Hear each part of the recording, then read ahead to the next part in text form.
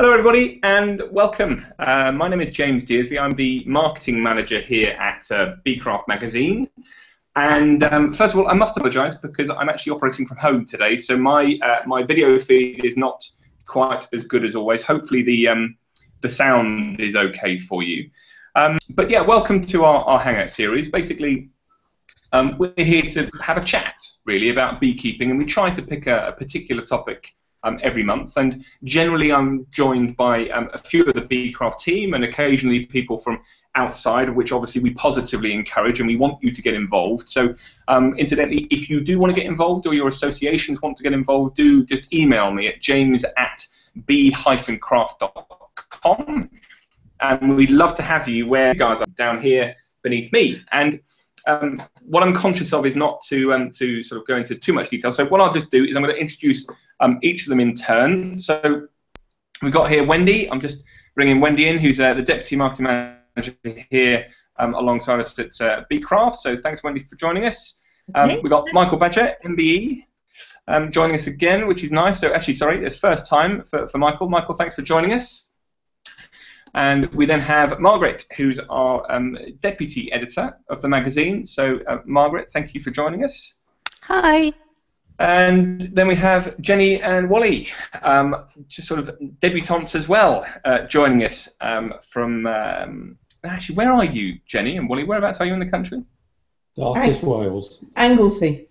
Anglesey. There we are. So that answers the question because obviously we're here to talk about swarming, and um, one of the things that we were just talking about um, earlier on in, in the non-live area is the time of year because obviously with swarms it affects people at different times of the year. Um, it's been incredibly hot the last couple of days here I am, actually, in Surrey. Um, Wendy, you were just saying you've had a, a, mass of activity over the last couple of days, and do you want to just say where you are and, and what's been going on with your side from the swarming side? Right, well, I'm based in North Devon um, on the coast, but uh, one of my apiaries is in a nice sheltered position, and uh, I had queen cells, charged queen cells this afternoon, and had to create a, a couple of nukes from uh, from two of my hives. So th- things are really uh, going quite well down here, but it does depend still on where the apiary is located. In the more exposed areas, they're not as far ahead as that although they've all they all seem to be doing pretty well on um, numbers of bees. But um, charge queen cells were a bit of a surprise today, and thankfully I was prepared. Yeah, I bet you were. Equipment at the ready, I would think. Absolutely. And, so, so we've got Surrey and we've got North Devon very, very busy. Um, Jenny and Wally, I think you were saying that you were quite a way behind up there in Anglesey. How, is it um, pretty active for you at the moment, or getting there?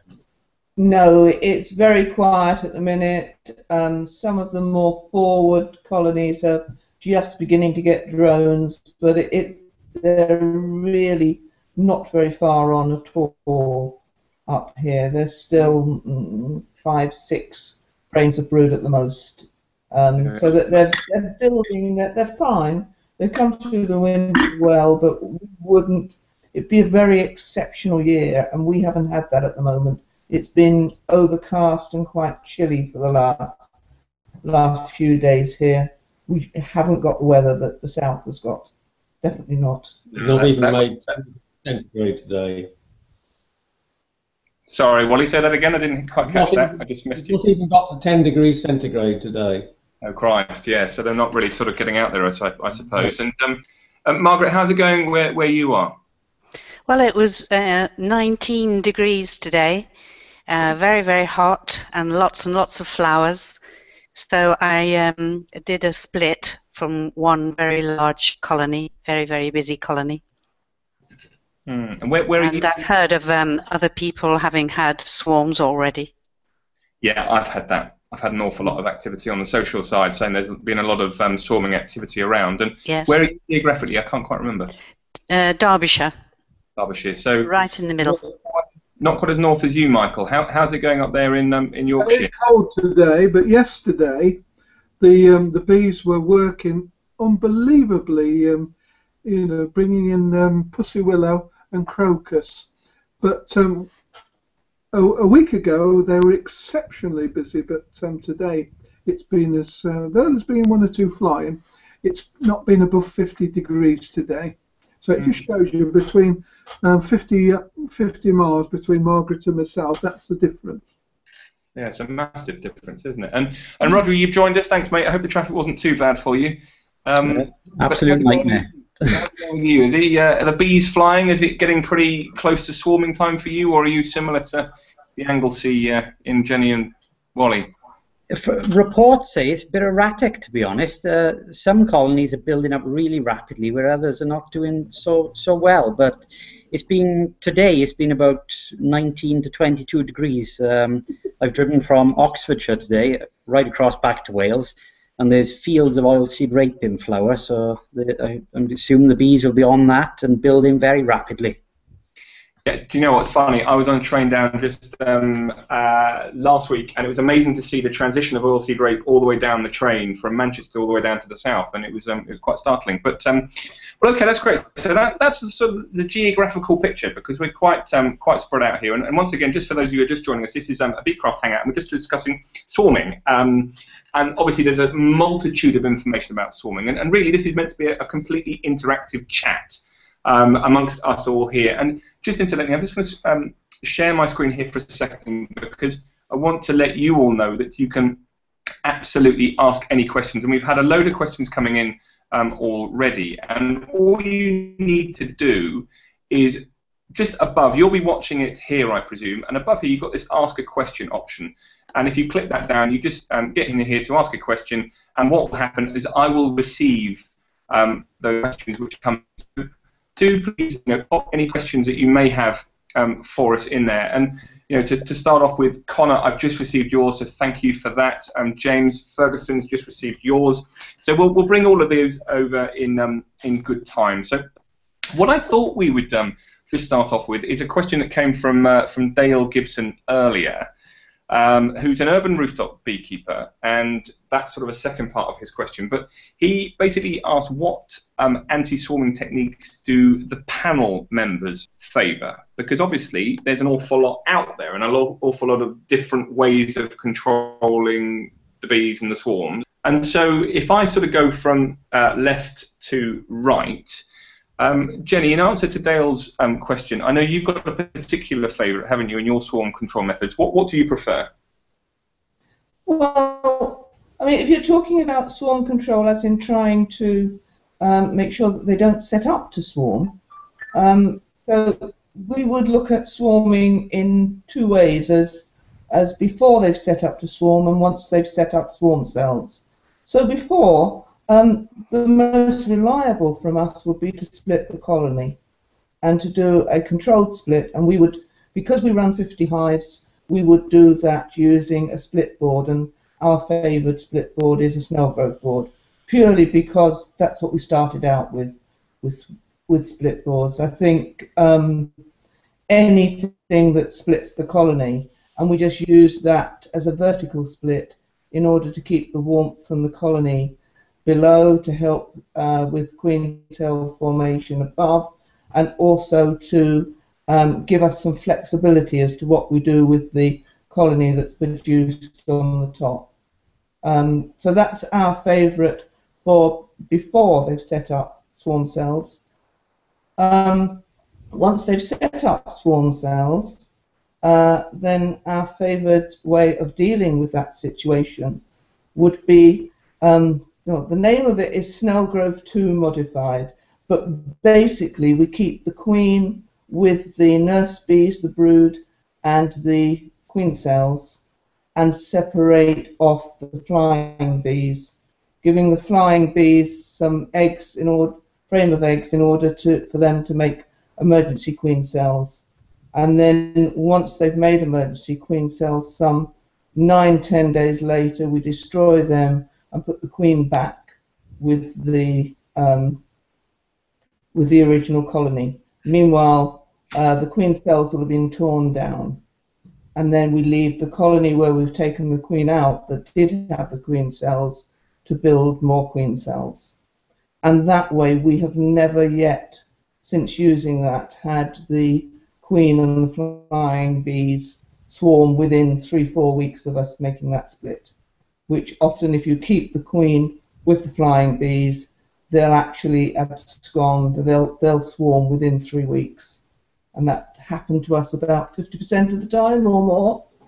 So those those are our two favoured methods. We have other ways of trying to increase the amount of area for the queen to lay in and making sure that the um, brood area is neither congested uh, nor is either with stores or with too much brood.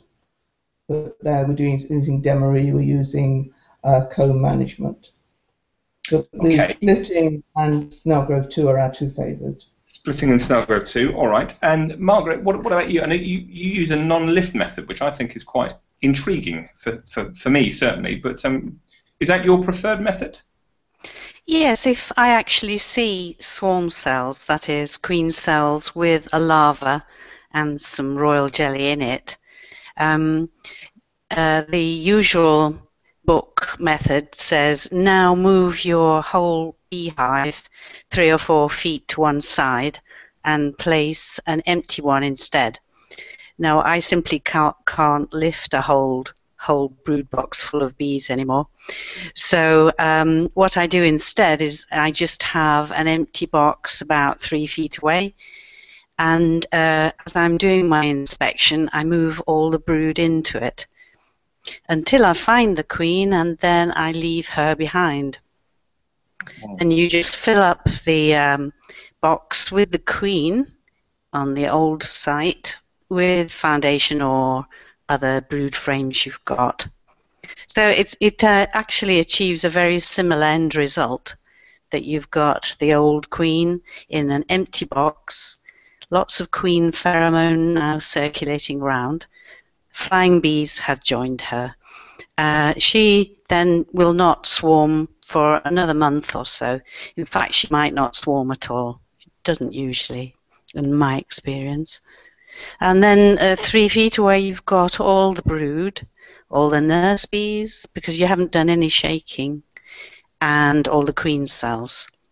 But having lost the flying bees and their queen, uh, the uh, that colony will only produce one queen, in my experience. The first queen will murder all her sisters, and uh, about a month later, you can look in and make sure she's mated correctly. It always sounds sinister in the books, but that sounds even more sinister when it's in the spoken word. But um, okay, Margaret, thank you for that. And um, and Michael, what about um, what about yourself?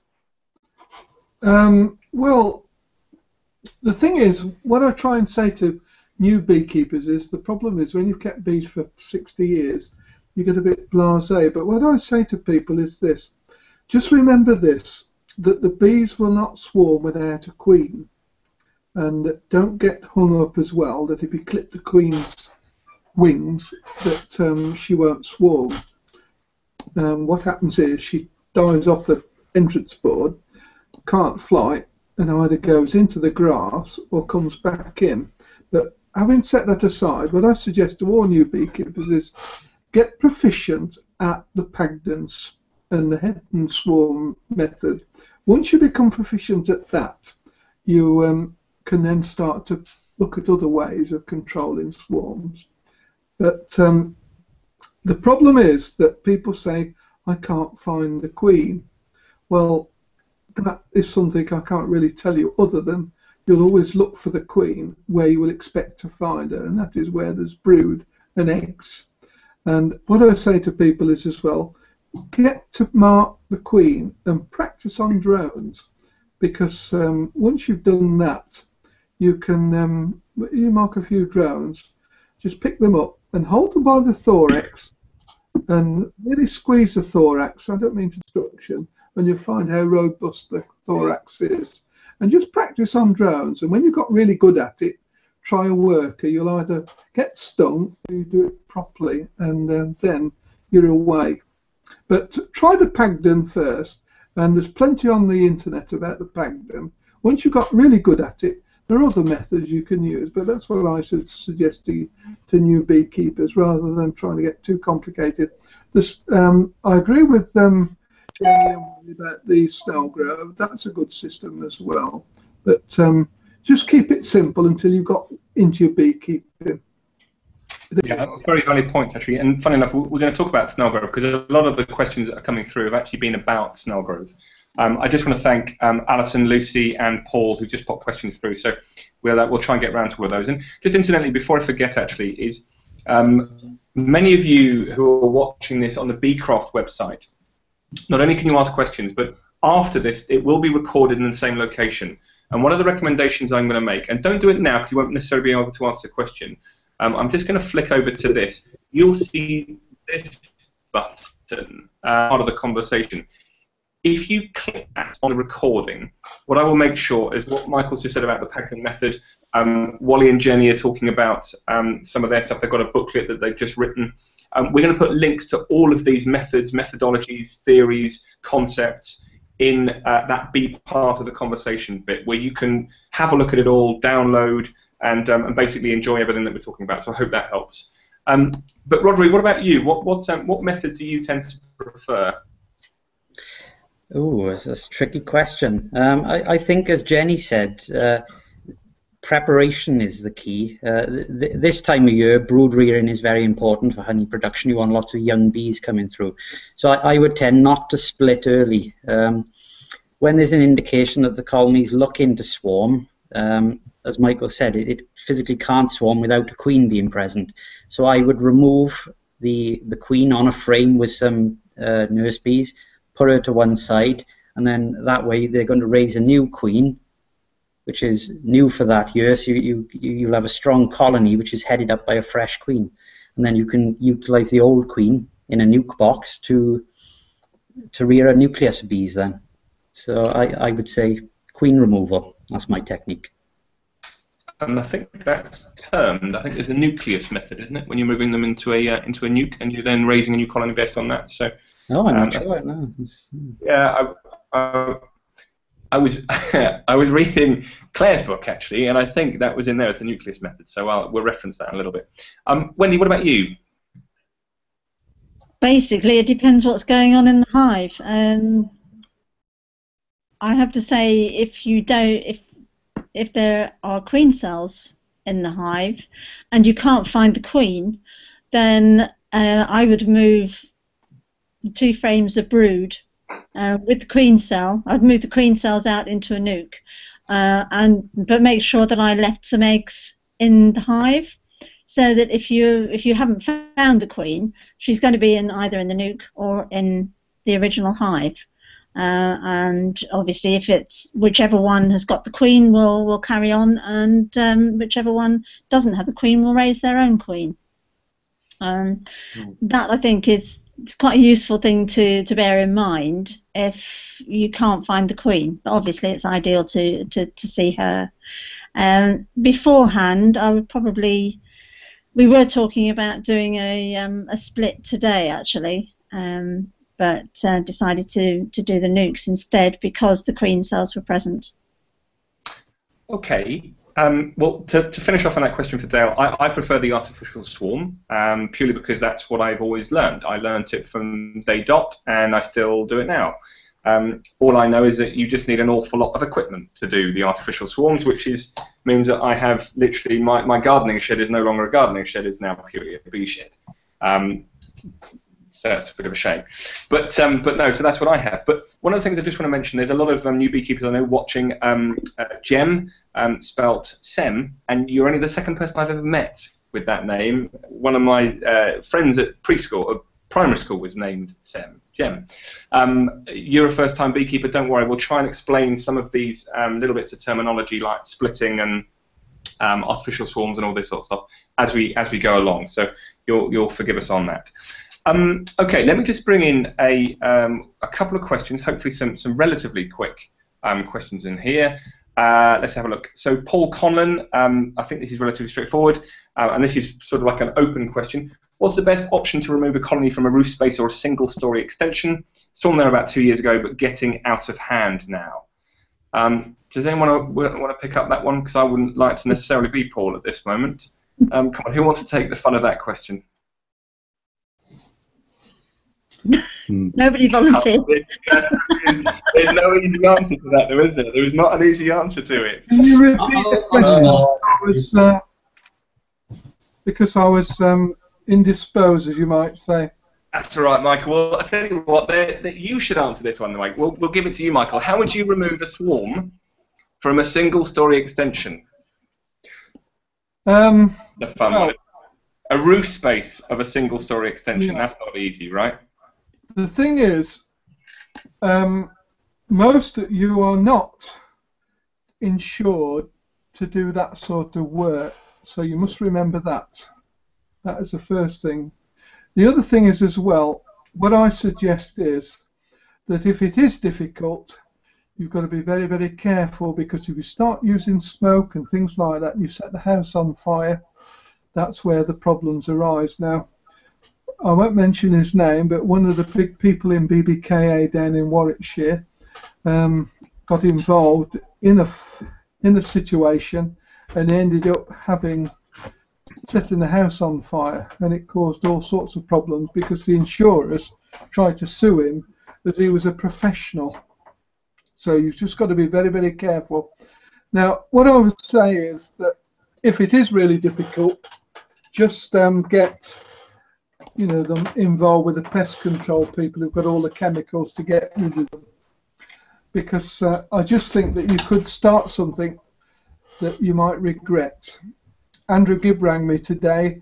He's been asked to look at something, and he found it very, very difficult to um, persuade them to, to get the bees destroyed. It's a very difficult one to um, Mm. deal with, really. My own view is don't get involved unless, you know, because you might start something that you can't really finish. Yeah, I think I think that's very valuable. And it's the same with, with chimneys as well. Like, you've got to really look at the angles, look at um, you know how exposed you're going to be, and, and deal with it accordingly. But you definitely need help. I mean, I've, I've been asked to do quite a few, and I, I've avoided them. I'm afraid. Um, so, Paul, that's probably not the best bit of news, really. Can I have a quick co- comment here, James? Yeah, of course. Yeah. Can I can I endorse what Michael said? Um, that you've got to be very careful about this. I think the only realistic situation in which you can attempt to recover a, a colony from a building is if the building is undergoing repair, and it, the, you can actually take things apart uh, without it mattering. Otherwise, it just isn't cost effective at all. If you've got to pull off fascia boards or or whatever, then it's just not cost effective. It's much better to get the colony killed. Um, there are swarms all over the place going in these places. The loss of one colony is not critical. Fair point. Good answer. Okay, let's let's move on so we can move on to some others. Um, we've had one in um, which again I think is actually a little bit shorter than this one. So Jem has actually asked, um, if I introduce swarming techniques, will you compromise honey harvesting? So any thoughts on that one? Well, there is a simple philosophy that um, um, they may not swarm, so don't get too hung up on it. The only problem is about um, honey production and swarm control is this. You've got to remember that um, that um, it's all to do with pheromones. If a colony is very, very strong with a young queen, the pheromones get distributed by the queen, so therefore it doesn't always produce a problem.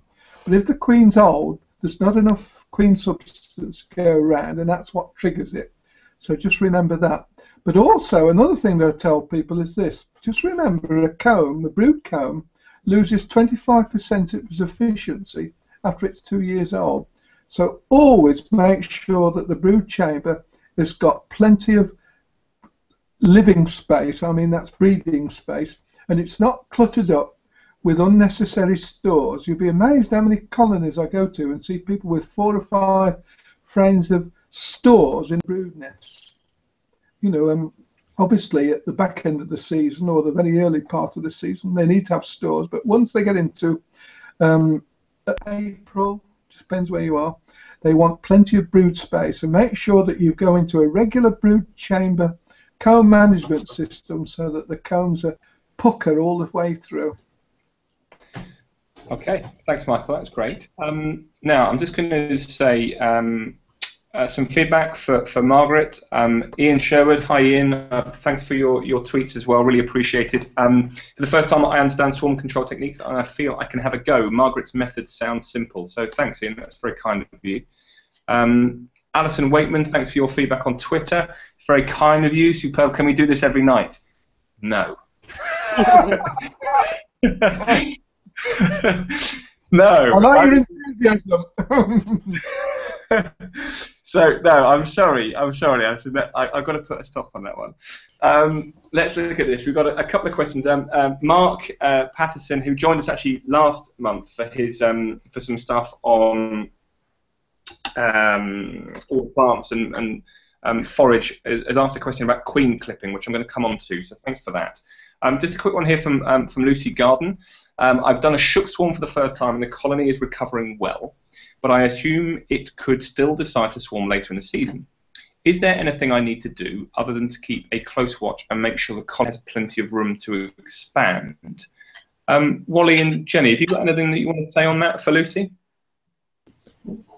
Um, I mean, if, if it was shook swarmed uh, onto foundation, then that is going to be a very good way of um, certainly holding off swarming for a bit.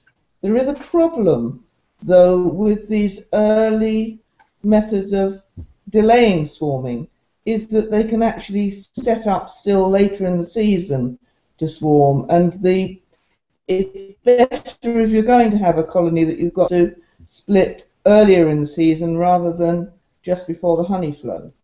So certainly, shook swarm won't stop them swarming. You'll certainly have delayed the way uh, the timing for them to build up the swarm, um, because you've also you, uh, you've removed all the brood as well.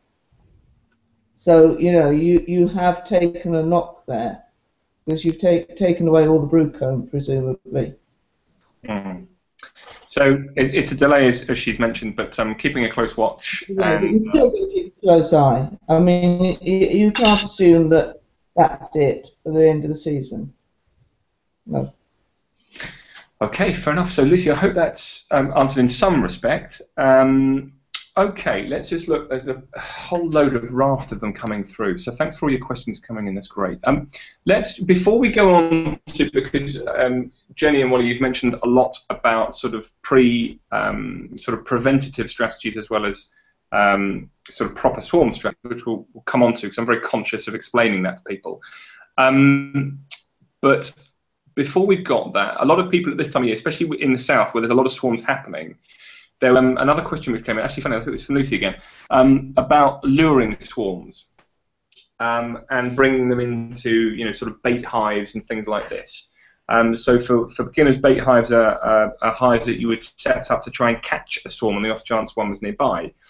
Um, and, and, Lucy was asked, what's the best swarm lure, please? I've heard of lemongrass oil, but I have a lot of lemon balm growing in the garden and wondering if I can use that, and if so, how? Um, does anyone know much about um, bait hives and lures like that, attractants? Can I come in here, James, please? Yeah, Wally, go for it. And then Margaret, I saw your hand was up, so we'll, we'll come on to you as well. So, Wally, what's, um, what, what are your thoughts on that? Well, we, we have always found that by far the best thing to lure a swarm is a nice old black comb. In, in a single comb in a in a in uh, the bait hive which should follow the normal rules that you should put it as high as you can possibly get it and it should have an entrance which is no more than about 10 square centimetres in size. And that, that is the most attractive thing to us for a swarm. There you go. And Margaret, following that, what are, you, what are your findings on this? Yes, I was going to say the same thing. You probably want to put a foundation in a bait hive but one frame of very old comb, nice and you know smelly and used lots of times, in the middle will help to attract the swarm. And there's a question for me actually. Does it matter the position of your bait hive? Because I know I've seen some very elaborate construction projects where they're putting them up very high on top of sheds or um, on construction poles, and others say no, just put it um, on, on ground level. What, what are your thoughts on, on that? I, I think there's been some research, and I couldn't quote you it exactly, but I think uh, higher up is better. You think about um, a swarm going to a tree, for example, they're more likely to find the, the hollow if it's higher up. But I've had swarms come to bait eyes and they're just at the normal height. So it doesn't matter that much, I don't think. Good. My, my Something week- I used to do years ago was um, remember that tree, bees in the wild state always live in a tree that's live. They never go into a dead tree. They're not stupid. They go high up from nature intended to be away from bears and predators, etc. So what I suggest to people is this: get a crown board and close the entrance on the bot underneath it, if you can imagine what I'm saying. Have a crown board in the brood box, and as Wally rightly says, and Jenny said, some old combs in there. But if you keep the entrance quite small underneath, and burn, um, drop some um, melted beeswax um, around this small entrance, because if you notice that when bees swarm into chimney stacks, they go into these very small holes, which is, you know, going back to nature, is makes it difficult for a wild animal to get into. And I found that spending this um, hot wax around this little entrance, it gives off an odour and it attracts the swarm to it. So that that's a good way of luring it. I've found in the past. I I'm trying to avoid having bees, so that, that's why I don't do it anymore. But it worked for me quite well. Did that? You, that's because you just like having bees in sheds, Michael. I've seen your recent. Yeah, that's what it is. You like very nicely compartmentalised in a shed. And um, actually, a point on that, we're going to put an article of Michael's up very soon, which is uh, which is fantastic, and actually, it's the story of of Michael's bee shed. And uh, I've got to say, Michael, I love the photos. I think it's fantastic. But um, that's for another day. We can't do that today, which is a shame. But look, I just want to thank um, Mike. I've just got your question, which is fantastic. I'm going to bring that in in a little bit. Um, I did mention to Mark uh, that we would talk about his thing for a second. Um, because I do really want to talk about splitting of colonies. I think it's very vital right at this moment for us in the south. Um, so I'll read out um, Mark's entire question, and you'll see his his last bit in. He says, bees in central and, and disrupt my neighbours, which, funny enough, is what Dale Gibson mentioned as the first question. Um, I clip my queens to, to delay swarming in the event I cannot get to them every six to seven days to inspect. It doesn't prevent swarms, but it does delay them, as you said quite rightly, Michael. Um, and it gives the keeper a chance to artificial swarm them. Many swarms I get called to um, to collect in central London could probably be avoided if the queens were clipped. So, in a roundabout, roundabout way, um, Mark's basic question is what are the panel's view on queen clipping? Um, Michael, obviously, you, you sort of suggested yours. Um, Wally and, and Jenny, have you do you or have you got any views on queen clipping? We don't we don't queen clip, um, and we can see there are pros and cons to queen clipping. Uh, it doesn't it doesn't wouldn't aid our particular style of beekeeping. The most important um, thing against queen clipping is that you stand a very good chance of losing the only queen you've got, and you will not get another queen laying for at least a month. So when you lose a queen, you're losing at least a month's worth of brood. So we would rather try and keep on top of swarming uh, and not not lose swarms anyway, rather than risk rather than being a bit uh, have a tiny interval and risk losing queens. as a, a personal point, my personal point, I I feel very uncomfortable with the idea of clipping my queen. That's my, my personal view. I know it's it's uh, something that is done. I know that it, it doesn't hurt queen, etc., etc. I just don't personally don't feel comfortable with it. One one more thing on top of this, we have rural I'm sorry, Wally, just to be very rude here for a second, Yeah, because I'm rural. very conscious, and I'm, I'm so sorry. Obviously, again, we, we slipped into beekeeping language, haven't we? Where we just said, what about clipping, you know, queen clipping? Um, Jenny and Wally, would you mind just explaining for, for the new beekeepers here, just very briefly, what a you know what you're doing when you're clipping queens. We, we don't clip queens. Never So done what, it. what people do? I mean, you- you're snipping Well, the wings yeah, away from the queen, so you're preventing them from flying. Um, I don't know a lot about it. I mean, all you're, you're doing is you're cutting off part part of one wing. You, you're you're One pair.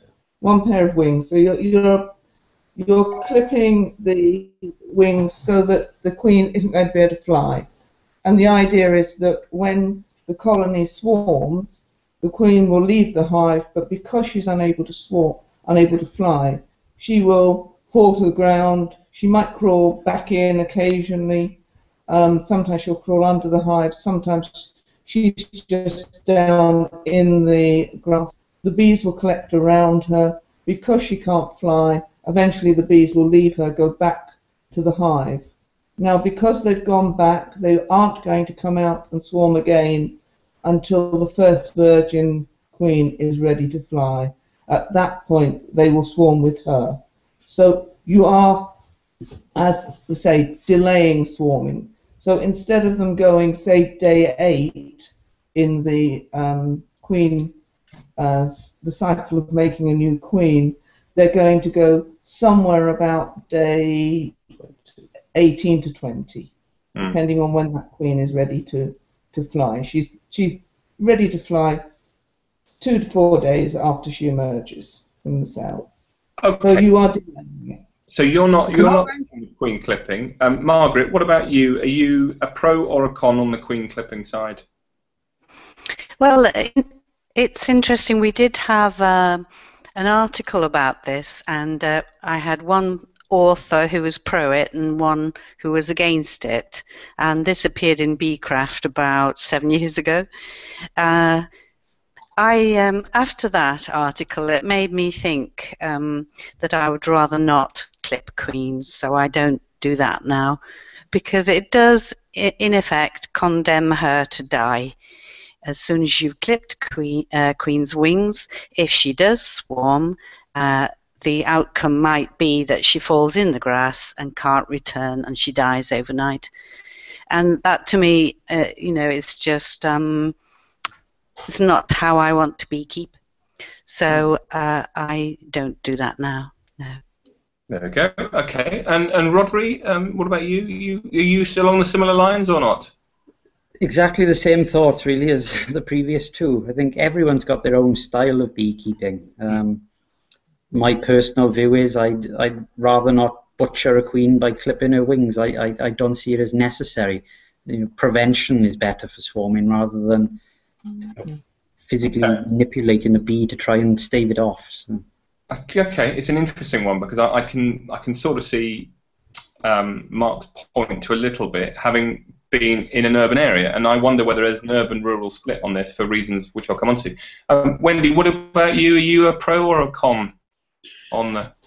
I don't really have a, a view one way or the other. I mean, we I have clipped queens and lost them, um, but I've also clipped queens and and but I, and they've been fine. But I think that's possibly because we've taken the correct preventative measures anyway, and so I think it's it's if you do clip them, I think it's important actually to do both wings slightly to keep a, an element of balance because the other thing is that the, the bees in the hive actually might uh, reject a bee or might reject a queen um, if they um, if they're found to be odd so Im- imbalanced so that's what I was told anyway when I started beekeeping so um, that's what I've tended to go by if we do clip then we would try and clip both wings equally I think. Do you know what? I think it's a very difficult one, um, Mark, for, for, to give you my opinion on it, because I, I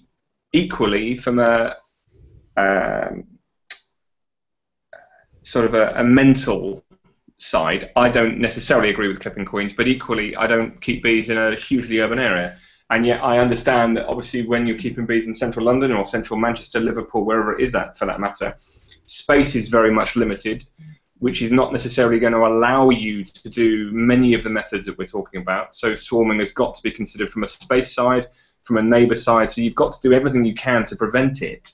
So I sort of Right. understand the, reason for doing it. I tell you, um, Well, when I was a when I was a, a young beekeeper, it's a long time ago, we were we had um, a, what they call a county beekeeping advisor or inspector in those days called Harry Allen, and he suggested to us that we should always clip both queen's wings, um, which goes back to what uh, Wendy was saying. And the thing is that you've got to be, he said, there'll be less chance of them superseding the queen, mm. and there will also be the fact is that when they swarm, she can't fly very high, and you'll find that you'll have a lovely swarm four feet off the ground, or should I say, a metre and a bit off the ground. And um, now I'm in the bee house, I've started doing it again. And uh, I let one colony purposely swarm so they could show the next door neighbour, and lo and behold, she was no more than five feet off the ground on the apple tree, and it's just um, proved proved the point. So that's one thing you can do, but just one little bit of advice when you do try and clip a queen, be very wary that she will lift her back leg up to stop you doing it, and don't, whatever you do, slip her leg off. Otherwise, you'll um, will certainly get her superseded. Absolutely. Absolutely. Okay, let's move through. Um, so, what I'm just going to do, uh, it's time for everybody who's the Beecraft Hangout. We're um, sort of 40 minutes in. We've got about another 20 or so minutes left.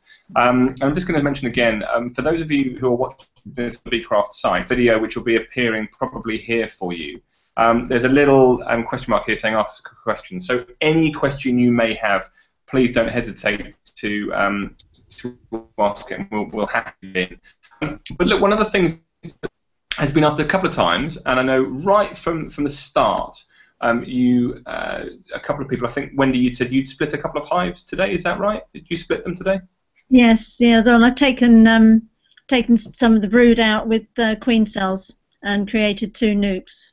Okay, so let, us clarify what this is all about in, in terms of splitting colonies, which is basically a, a swarm, if I'm correct, a swarm prevention technique um, or a swarm delaying technique. And this is in reference to a question Alison has come in. So, when is the earliest I can split a colony in order to A, expand my apiary, and B, hopefully prevent a swarm? So, um, I know, uh, again, Wally and, and, Jenny, you talk about splitting quite a lot. Um, would you mind just explaining what a split actually is and how people can go about doing it? Yeah. Right. Um, well, we we go about splitting when when the colony is it's got to something like eight or so frames of brood. You've got a good colony. The ideal is to split it just before the bees themselves decide to set up to swarm. Uh, so it's a bit of a tightrope to, to be, get the actually ideal time. And you have to make sure that there's enough, um, the colony's big enough, and there's also enough drones around.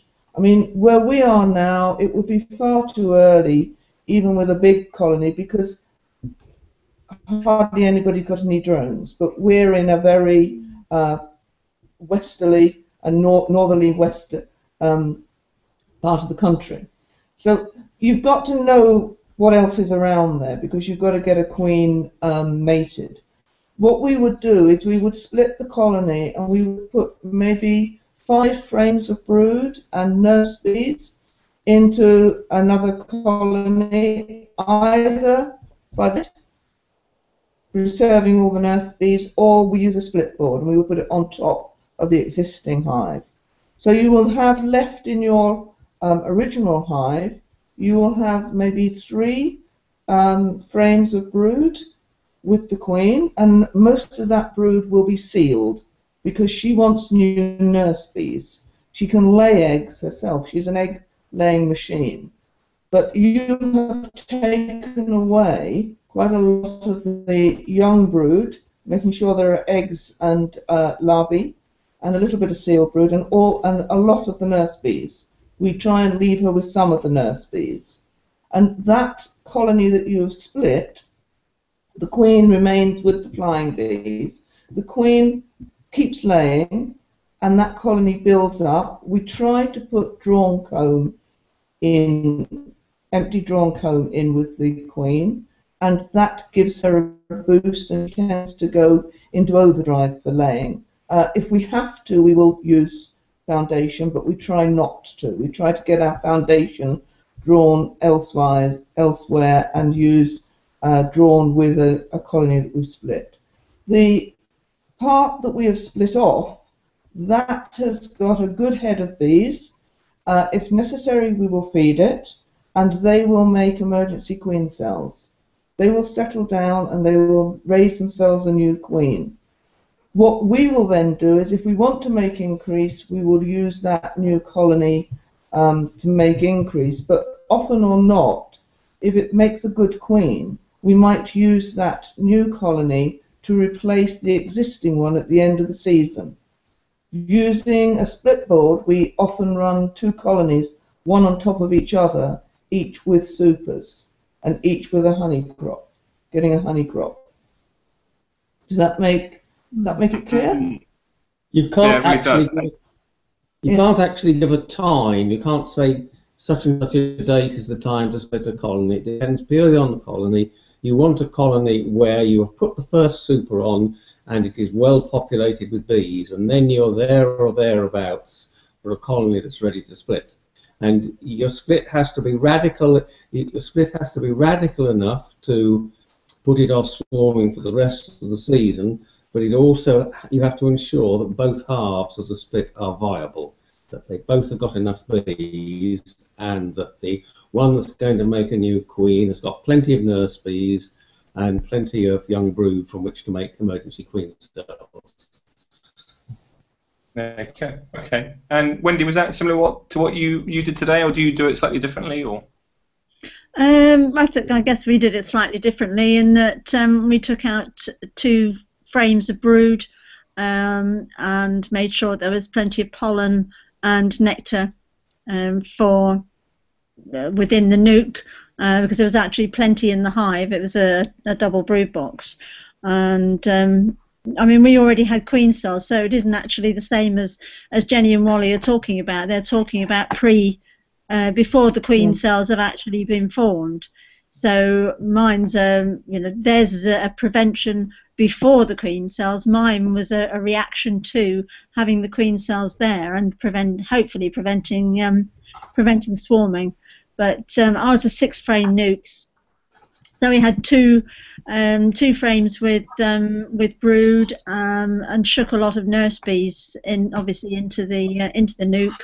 Um, as I say, two two frames of brood, two frames of one frame of pollen, um, and one frame of stores, and two drawn comb. So slightly, I mean, ever so slightly differently. So that's that's one of the things. I mean, it's But different different timing. You've got to bear that in mind, James. There's different timing. Jen, you know, Jenny and Wally are talking about before the swarm cells appear. okay because one of the questions, or a lot of the questions that are coming through, are all about um, about this prevention side, and a lot of them are saying, are we would we split a colony in order to provide space for the colonies, or you know, what would you rather? um, add this about before you start splitting. A Hmm. colony will only swarm when it has its own drones flying. You've got to make sure that the drones that it has got drones that are on the wing, and until they're on the wing, that can't swarm. Uh, a lot of people used to say, wait until you see the vi- what's it, the ribes growing and flowering and that sort of thing. It's nothing of the sort because of climate change now. Things are much earlier. If you see a colony of your own with drones flying from it, from that time onwards, they are in a position to swarm. That is the major thing that people overlook. So um, people go. a, a young lady not so long uh, last year split a colony far too early and um, said it's all gone wrong. Can I help her? I went down and I said, but why have you split it? She said, well, it was strong, but there were no drones flying, you see. So she messed it all up. So just remember that. It's a good point because actually, funny enough, that may answer um, Trevor Boulin. I think, I, apologies if I pronounced your surname wrong, Trevor, but um, he's just put on here one of my hives has more drone cells than I've ever seen before. Um, have you got any suggestions? So I suppose one suggestion is what you're just alluding to there, is it, Michael? That um, I was told if a colony's got more than five percent of drones, then you've got to start thinking they're getting prepared for swarming. Is that is that an accurate? I would think that's a sensible thing, but um, just another thing is a lot of people try and eradicate drones completely from a hive. That is false, totally false. A colony is happy when it has got drones, but then again, you don't want too many. Now, you can put brand new foundation in, and very quickly they will transfer some of it, transition into drone. It's because it's part of their natural rhythm. But obviously, as I said earlier, I'm sure I said it earlier, about 25% efficiency in drone combs. That's one of the things. If you keep through keep a regular comb change procedure, you cut down a lot of the problems with swarming. James, James, could I mention that uh, in the May issue of Beecraft, which is just uh, coming up soon, uh, we have an article by Dinah Sweet on making increase and it, it will also prevent swarms. So it's uh, covering the, the um, information that we've talked about today. Lovely. Yes, That's great. James, very could- good article. Sorry, Michael, you were you were crackling up a little bit there. Do you want to just say that again? she's written. I've seen this article because um, I've been asked to write something about queen rearing, and I read what Dinah had written, and it's very, very good about preemptive swarm control. Very much like what Wally and um, Jenny mentioned earlier about getting things right. So it's well, it's a good, good, well-written article. Right, and that's coming up in. in This, this. sorry, if, you, if you're watching this for uh, who who are a Beecraft subscriber, then you'll probably get this in. Is it the next edition? Yes, yeah. the May edition. The May edition, fantastic. So that'll be out soon. So we'll make sure that's all gone. Um, Can- Wendy, you were you want to say something as well? Yes, I was just going to say uh, that um, as long as there's worker brood in uh, the, the chat that's rung in uh, or emailed in, as long as there's worker brood, then um, I wouldn't be worried. But if he's got, if he's not mentioned whether there's any worker brood in there. Um, so I would just be wary if there's an awful lot of, of drone brood that um, she could possibly be a drone layer. Um, I don't know whether that would happen first thing in the this sort of time of year probably Jenny or Michael can uh, can pass comment on that. But um, if there's if there's not much in the way of worker brood, I would be a bit concerned from that point of view. It does, and we have two of them at the moment. We've got two, co- two have come out the winter as drone layers. Right. So it, so it is possible in that case. So Yeah. to have a drone layer at this time of year. They So went in- They went into the winter laying perfectly normally and have come out as drone layers. And so, just in just to, for clarification for those of you um, who perhaps uh, are not as experienced as these guys, um, your advice, Jenny and, uh, Wally, if you have queens coming out of um, winter uh, as drone layers, would you replace the queens? Requeen the colony. If if the colony has got some workers in, if not, forget that colony because most if it's been a drone layer early in the season, then there won't have been any replacement of the autumn bees, and so what you've got is a load of very old bees there. So you're almost better to start again. If it's a drone layer later in the season, wo- laying perfectly well and coming in later, then there's a hope that you can requeen that colony. But this time of year, we we would just end those colonies and we'll we'll make increase and replace them. A good sign for a drone laying queen at this time of the year is if you see a good healthy colony, you'll see the bees coming in with saddlebags of pollen on.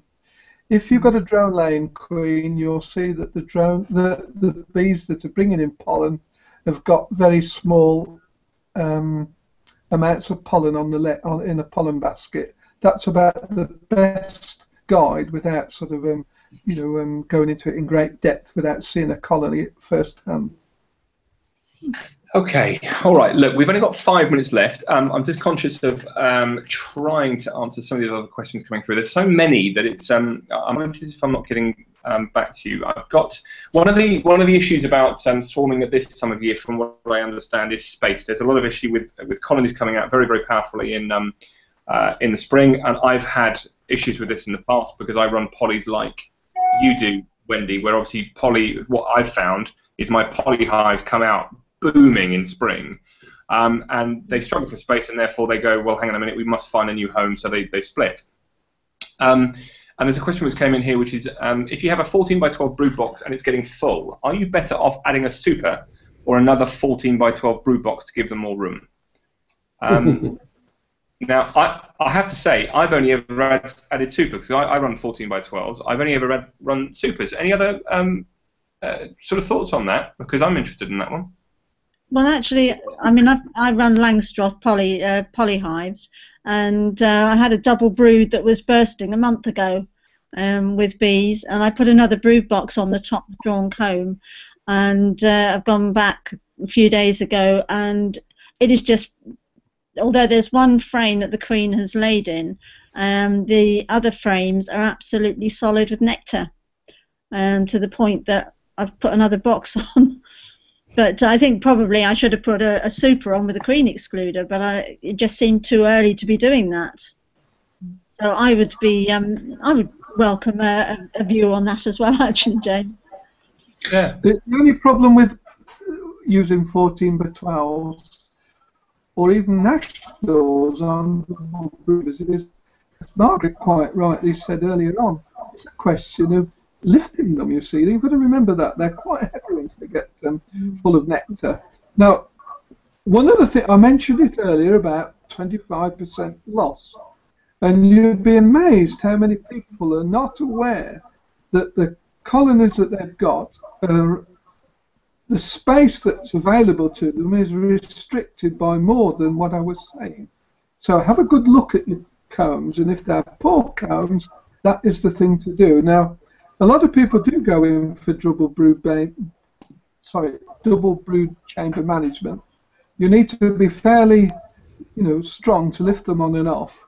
But the other thing is as well, if you're going for double brood chamber management, by about the first week in June, you need to put a queen excluder between the two boxes because what you'll end up is rearing a whole amount of brood that the bees, when they go out and forage, come back to feed a load of young bees rather than storing it in the in the. So it's a fine balance. You've got to be very very careful.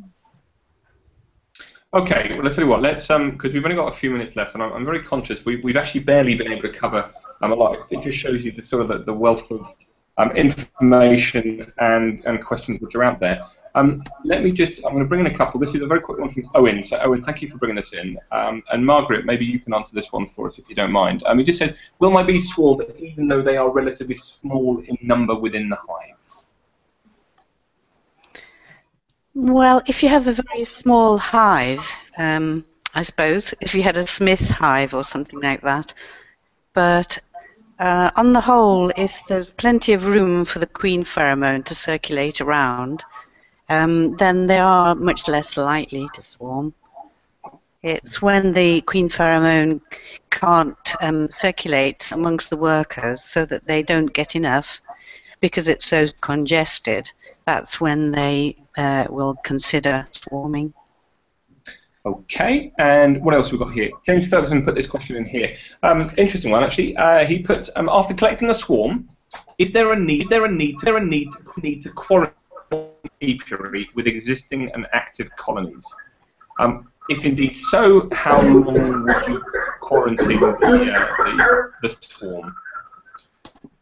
Any thoughts on that? It depends if you know where the swarm is from. If it's from one of your own apiary, or one of your own hives. Sorry, I'm getting awful feedback.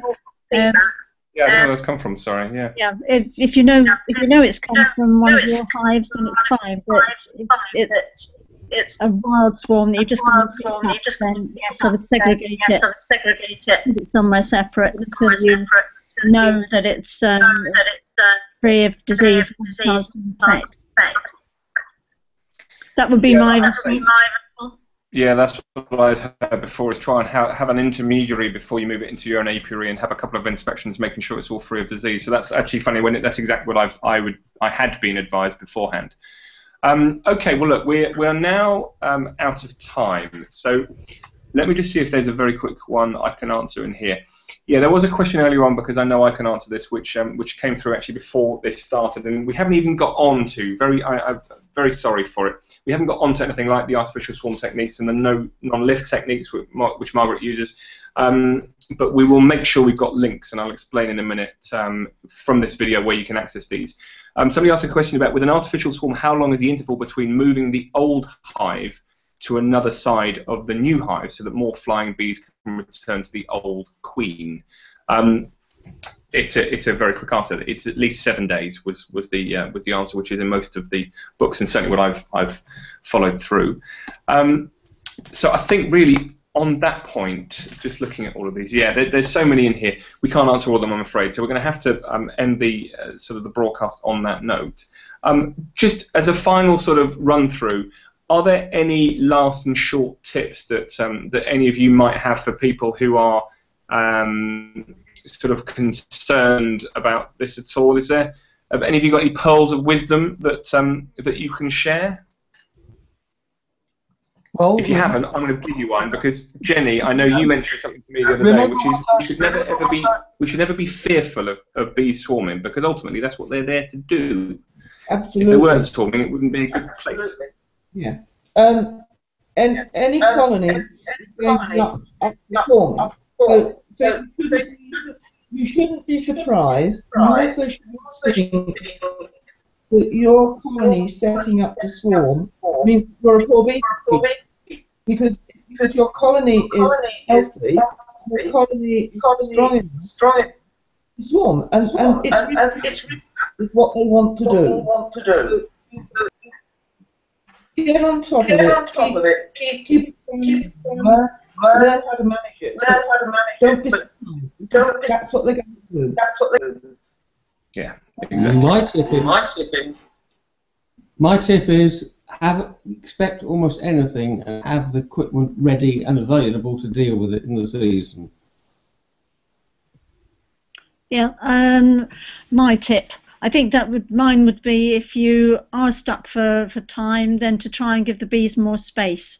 Um, I think the the points that have been made about the, the bees storing the nectar in the in the brood chamber uh, is a very valid one about actually taking frames of um, of stores out and giving the queen somewhere else to lay.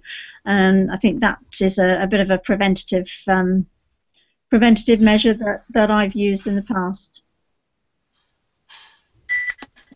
Sorry, Any everyone. other I'm Oh, just trying that's to keep going, James. I know. I'm sorry. My wife was calling me saying, "Where are you? Where are you?" And I'm going, "I'm, I'm on a hang-up call. I can't. I can't go. Are you okay? I'm fine. I'm fine." Well, Um, anyway, James, so- One thing I would suggest that every beekeeper should have is quite a few butler cages. And if you buy scald them with boiling water to get rid of the And um, at the first opportunity, get the queen into them. And then when you want to find you want it, then you've got to put it in front of it. And she'll go in there trying to find the queen.